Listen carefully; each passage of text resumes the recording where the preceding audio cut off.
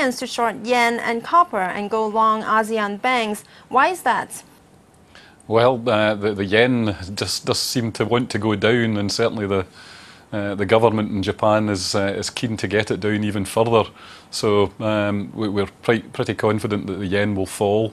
Uh, we think there's some good reasons for it to fall, and we expect clients are making money by shorting the yen. Copper's slightly different. Uh, we, are looking at much weaker global growth than the, the consensus, and a slowdown, further slowdown in China and India this year, uh, which are two of the big consumers of copper. So we think it's right to be short copper as well. But the place where the growth is is, is ASEAN, um, whether it's Indonesia, the Philippines, Thailand, or Malaysia. The ASEAN four are uh, moving in the right direction.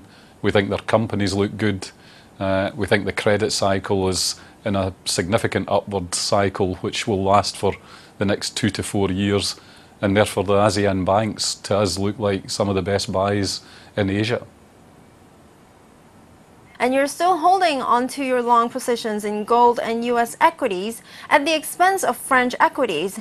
How would this strategy change going into the second half?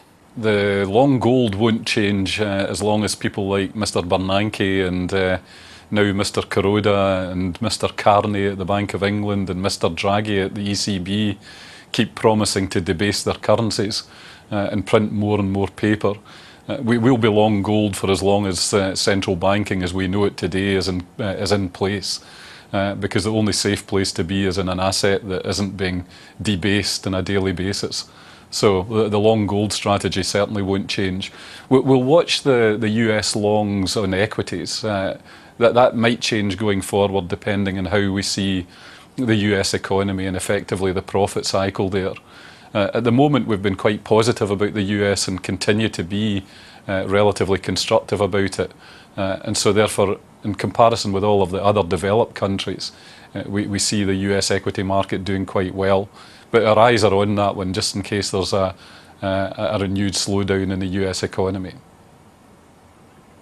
You downgraded Japan to underweight at the end of February and have kept it there even as the Nikkei has seen a strong run up. What would you need to see now to reconsider your exposure to Japan? Yeah, we're underweight, and it's underweight for that reason of uh, uh, the, the equity market is dependent on a weakening currency.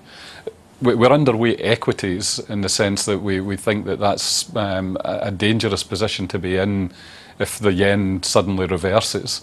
But let's say that the, the yen continues to, to depreciate, then the, the easier bet for, for all of us is basically just to be short the yen uh, rather than to have to put money into Japan to hopefully get some upside on the equity market.